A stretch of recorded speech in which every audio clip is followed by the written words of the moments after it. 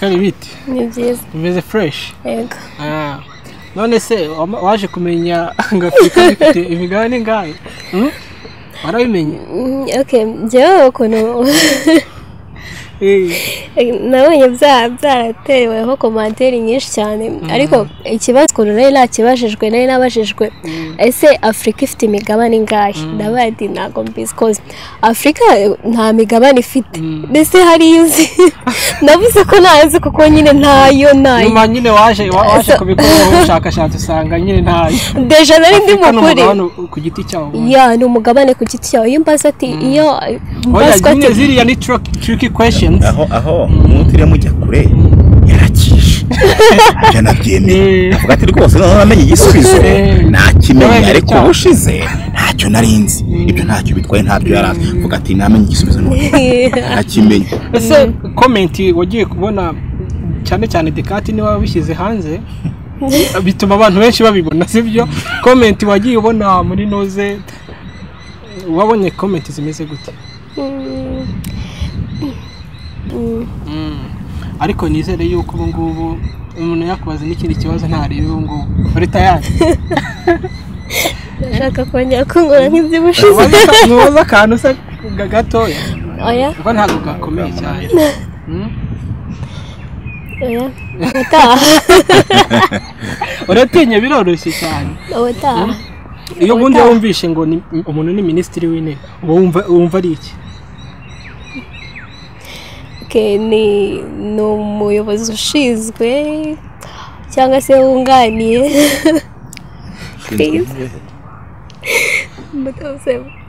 mwaretse ngasobanura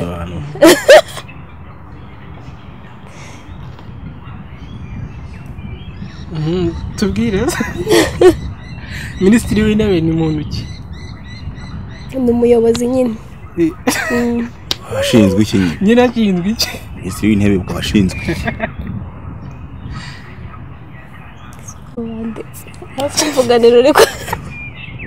none se basi tubwire minisitiri w'intebe w'u rwanda ni inde Eh.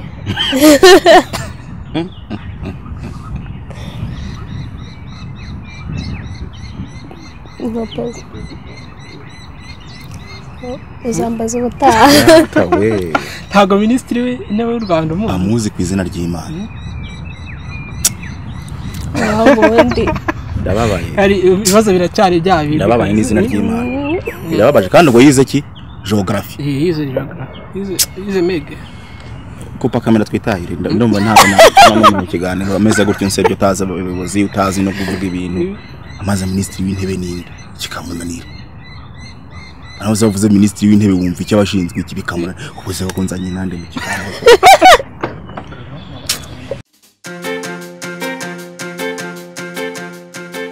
One K Hills Beauty with visuals, enjoy, laugh, and get your happiness. Wow.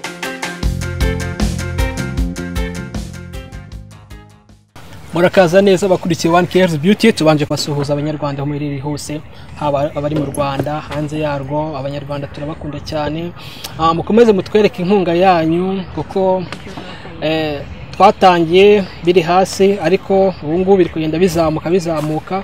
Rero uriya iyo umuntu akubwiye ngo kora subscribe buriya uba ufashije ikintu gikomeye cyane duhereza imbaraga eh, zo gushaka abantu abantu mukunda abasitari banyu ngo muganire eh, kandi babaho ibiganiro byiza. Aho rero uherereye hose haba mu rwanda hanze muri amerika muri australia mu burayi ah, mbese umunyarwanda uwo ari we wese ahantu ariho hose udukurikira tumuhaye ewana peace. Kabisa peace uradushyigikira kandi ukomeze ukore sheya ukore na komenti komenti zanyu zirakenewe cyane kuko uko ukora komenti yenda yaba ari negative cyangwa positive umuntu agenda areba icyo yahinduraho. So rero ngewe akaba ari wa musore wanyu kuri zo dekata nk'ibisanzwe kuva kuri one cares beauty. Uyu munsi rero nkaba ndi kumwe n'abantu b'ibyamamare muri ino minsi bari kubikora neza muri sinema nyarwanda. Eh, akenshi mukunda kubona ko twibanda muri sinema turashaka ko sinema yacu hano mu rwanda igenda izamuka igatera imbere. Sibyo ko n'abandi bandi abahanzi ndetse nawe ufite ikindi kintu ah, gitandukanye yenda bwaba ari ubutumwa cyangwa se ubuhamya ushaka guhereza abanyarwanda watwandikira nawe ukaza tukaganira. Uyu munsi rero tukaba turi kumwe n'abantu babiri. Umukobwa mwiza cyane. Yuko ari we mukobwa ufite imisatsi myiza mu gihugu cy'u rwanda. Ewana umuntu ubihakana abyandika muri komenti ni we mukobwa muri uru rwanda ufite imisatsi myiza. Bita amakuru ni meza ko tuburanye hose? Eee ndahari Mm, iminsi myinshi cyane Ah, meze neza nta ribi?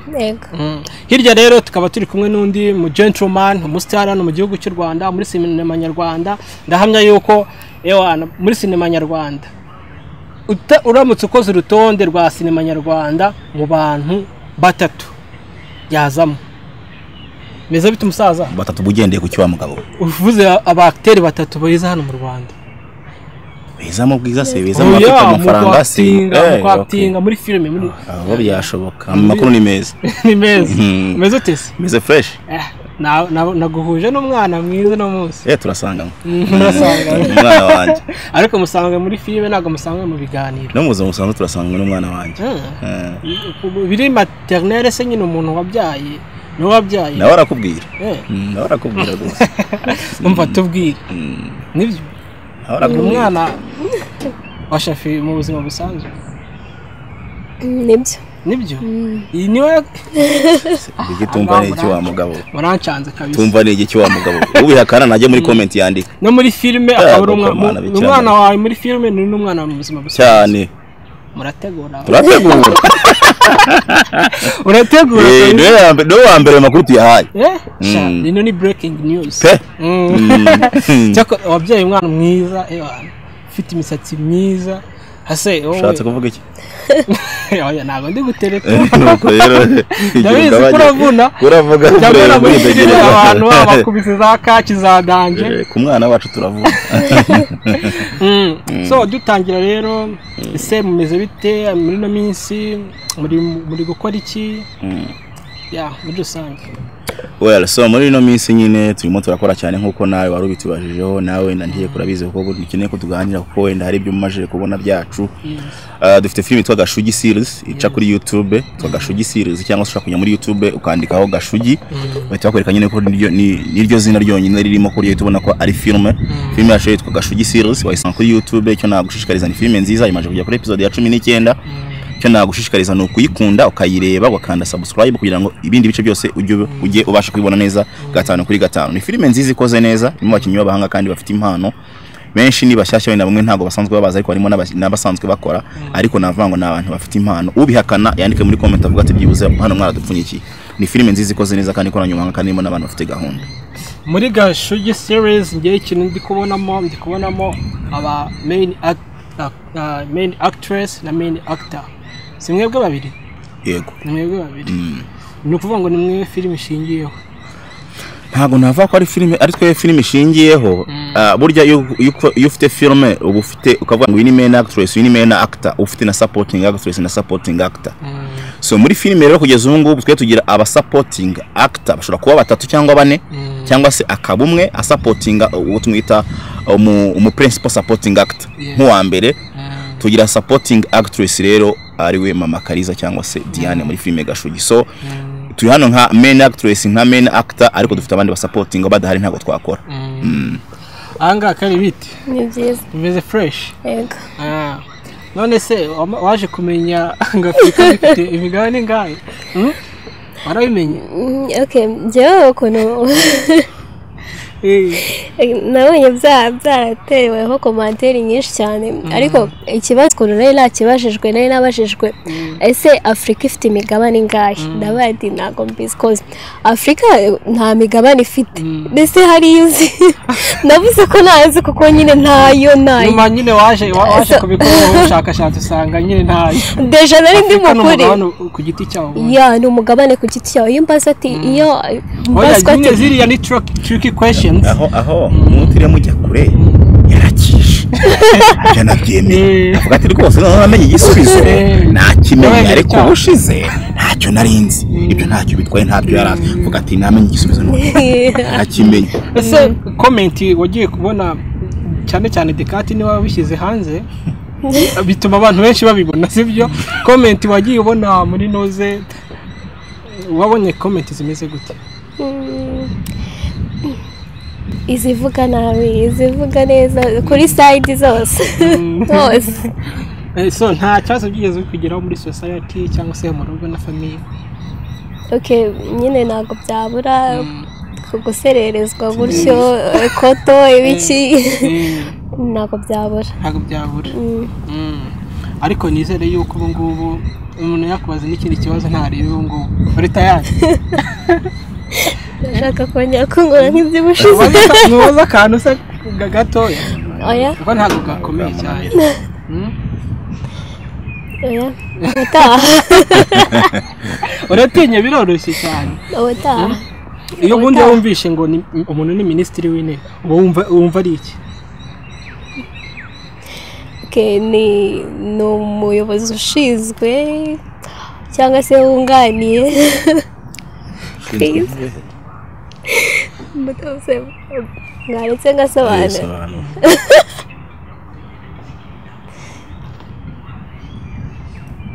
Mhm, tubwire minisitiri w'intebe ni muntu ki ni umuyobozi nyine abashinzwe iki nyine nyine ashinzwe iki minisitiri w'intebe ubwo abashinzwe tuvuganira uri ku- ikibazo niko niyo wabajije tubwire minisitiri w'intebe w'u rwanda ni nde Eh.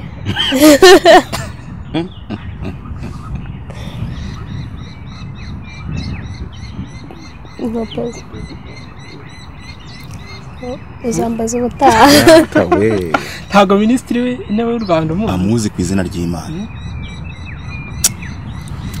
Ubundi ndababaye. Ibibazo biracyari bya bindi ndababaye n'izina ry'imana. Birababaje. Kandi ubwo yize ki? Eh, yize.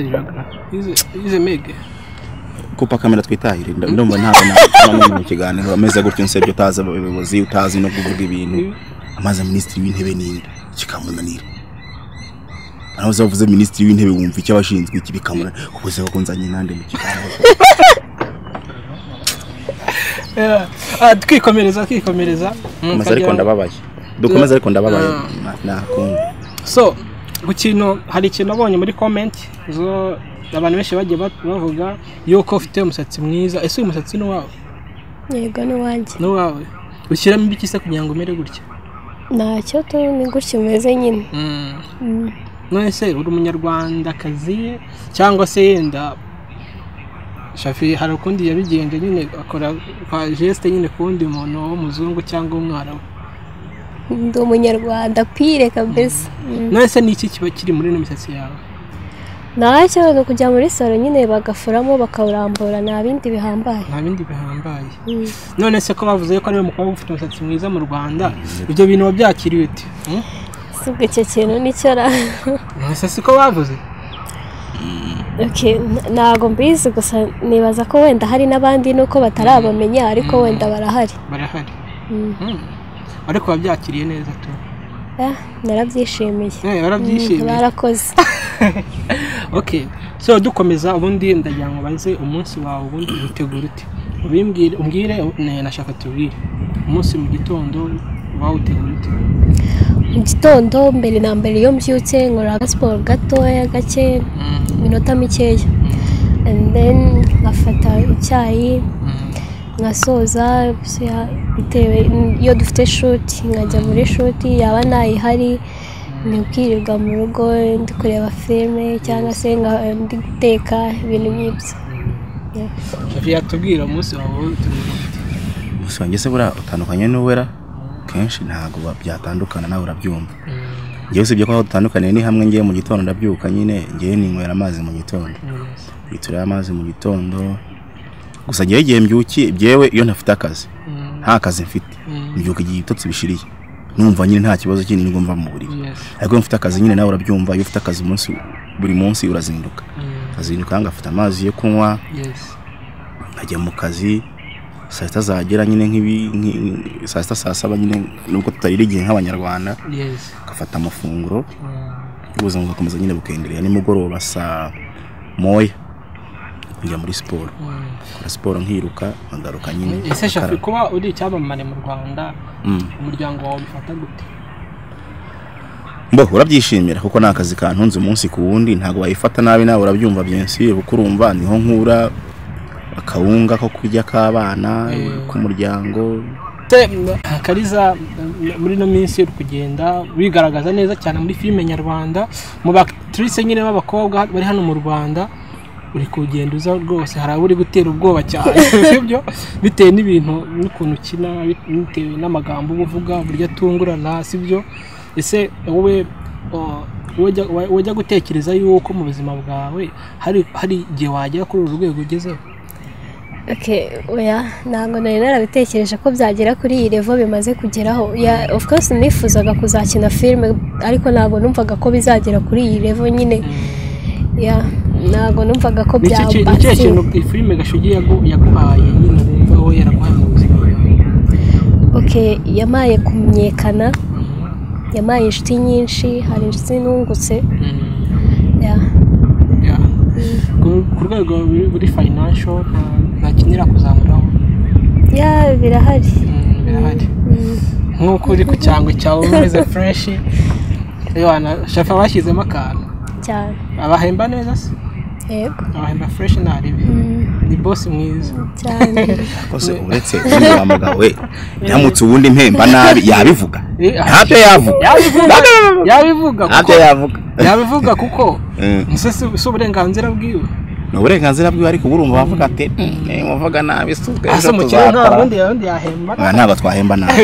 Niko nyine kari akanyuzemo warihaye meze neza Oya, byatari urambeshye, ni kwa kundi nyine umuntu agenda apfura arira. minsi ndi gufata amakuru. Aya na yo ni gake gake. Gashugi iri gukora umuti ni ukuvuga ngo muri kwa uploading umunsi umwe abantu tukabona babaye benshi cyane sibyo ni ikigaragaza yuko ari filime imaze gufata mu rwanda. Nkubwize ukuri rero. Burya ngo burya ngo ari abagabo ntibapfa abandi. Reka ngiye nkubwize ukuri nkumenere ibanga. Ntabwo nyine ariko ngiye kurahira. Ni izina ry'imana ncika amaguru sinzabona ijuru nimba mbeshya imana mujura impane. Ntabwo turahembwa. Mm, nkubwije ukuri. Ntabwo turahembwa. Ariko amafaranga agenda yinjiramo gake gake ntabwo turayafata. Mm. sinkubeshye pe. Ariko arahari. Mbo ntabwo arahari. Ariko ntabwo afatika. Urumva iyo utangira iyo utangira gukora filime ariko nyine dukoresha gutya tugenda dukoresha n'ibyo byose umukinnyi wenda akaba yabaho ntabwo ayabura kuko iyo uri gukora bizinesi nyine ugenda ubona amafaranga make yo kwifashisha nyine ukagenda unazamuka nyine ukageranya urwego wari uriho n'urwo nuko wari umeze mbere. Usanga nyine biba bitandukanye. So icyo ngicyo rero navuga ko wenda nta kibazo gihari. Icyo na- ikindi nakongeraho mu by'ukuri filime turi gukora gashugi ni bwo igitangira ni bwo igitangira abantu imaze kujya kuri episode ya cumi n'icyenda. Wenda abantu mu cyumweru barimo barayireba wenda nk'ibihumbi makumyabiri na bingahe bikaba byayirebye ni filime nziza ikoze neza ntabwo abantu benshi bose barayimenya ariko wenda iyi saha niyo abantu wenda bayimenyeraho bakayireba bakayi- bakayi- bakayikunda. Nibayirebe ba- ikagira views nyinshi. Mo please filime igira views nyinshi. Please natwe duhembwa neza. Rero abantu bayi- bayirebye bakayikunda. Karizo ko angana uku nguku nuko ameze uku nguku ubutaha naho yaba ari umuzungu.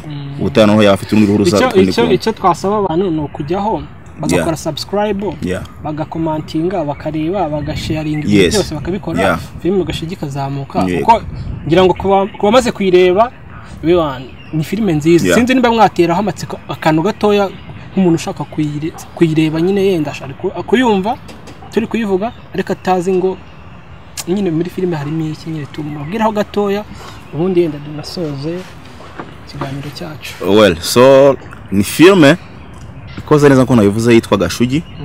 Ni filime kariza witwa kariza. Aba ari umwana wanjye nitwa gashugi. Ariko n'umwana uba arananiye ariko mu kunanira mu buryo nawe ubwe nawe atazi uburyo yananiyemo. Nanjye ubwanjye ntazi uburyo nanjye yananiyemo. Ariko mu kunanira imico aba afite aba yarayikuye kuri njyewe. Ni ukuvuga ngo ngo inyana ni iya mweru ni ukuvuga ngo imfizi byara uko ibyagiye. Ni ukuvuga ngo imico nakuranye yo kujya mu bagore guheheta uburara ubusinzi ubwomanzi uburaya byinshi. Mu rugo nyine nk'umugabo mu rugo. Byafekita umwana. N'umugore bikamwafekita bigatuma noneho umugore anafata icyemezo cyo kujya avuga ngo nzanca inyuma umugabo bitewe n'uko nawe abikora. Uyu mwana agafata icyemezo akavuga ati po nanjye ngiye gukora ibi ngibyo ababyeyi banjye bakora. Kugeza naho umwana bikira agafata icyemezo cyo gufata imitungo yo mu nzu akagurisha agafata televiziyo akagurisha kugira ngo abone amafaranga. Ugasanga wa mugabo nimba afata ya mafaranga yose afite n'ayo yakoreye akayajyana mu nzoga akayajyana mu bakobwa inshoreke nyinshi zitandukanye ugasanga bigize ingaruka kuri wa muryango ntacyo uri buze kubona. Umwana akavuga ati byose rero akabwira nka se akamubwira ati papa wampaye nk'amafaranga byibuze. Se akamubwira ati ntayo mfite. Umwana agafata icyemezo cyo kugurisha ibikoresho kugurisha televiziyo. Kugira ngo akone ko akone amafaranga make yo kwakiriza umukunzi we. Akaga kugurisha televiziyo imitungo yo mu nzu kugeza igihe kuri ya revo noneho n'umubyeyi. Kariza wagurishije televiziyo? Kubera umukunzi. Eh? cyane muri filime agira amanyanga menshi cyane. agira amanyanga. Mwese mu buzima busanzwe wabikora? Oya Eh, ntabwo nabikora. None se iyo uriya nk'umukunzi wawe tuvuge nk'urugero. Uramutse ukundanye n'umuhungu mu buzima busanzwe. Papa wawe akabyanga nyine tu. Mm. papa wawe akabyanga akanga ko mu- mubana n'iki wakora iki? Akanga ko tubana. Mm, wenda umuryango wawe. Ok papa wanjye yabyanze. Na- nakumva impamvu ari kubyanga. First of all nabanza nkumva impamvu ari kubyanga and then impamvu maze kuyumva nkumva ifatika. Ari iya nyayo. Namureka pe. Ariko nanone numvishije ari impamvu wenda ngo nta nta- idafatika. Kamubariza nk'akantu gatoya ni nk'iyo mpamvu yaguha ukumva irafatika Im- impamvu yamereza nkumva irafatika wenda ambwiye ati uriya mutipe arakuryarya nta nta nta nta future mwagirana amuzi. Nyine akavuga ati Yabimenye gute ko nta future mwagirana ni urugero nari ntazi ashobora kuba wenda amuzi wenda nko mu yindi famiye biki azi ibintu birirwa bamurega uyu munsi yafunzwe yabizize urumogi biki. abimubwiye se kandi wowe utarabimubonaho wumva amabwire? Oya ntabwo numva amabwire. Mm, nyine se bikubwiye first kandi utarabimubonaho. hari Chriso de Kata kuva kuri One Cares Beauty nkusaba inkunga yawe kora subscribe comment liking na sharing bizadutera imbaraga zo gukomeza gukora kandi gukora neza cyane ciao we love you guys one k Hills Beauty. With visuals, enjoy, laugh, and get your happiness. Wow.